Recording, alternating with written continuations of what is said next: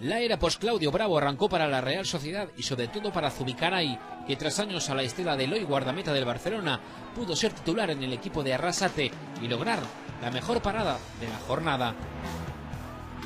El Eibar sigue siendo en primera un equipo correoso y peligroso y pudo adelantarse en un cabezazo de Arruabarrena que saca con una mano exquisita a Zubicaray. Una intervención de reflejos y agilidad que dejaron al futbolista de Eibar incrédulo por la parada de su rival.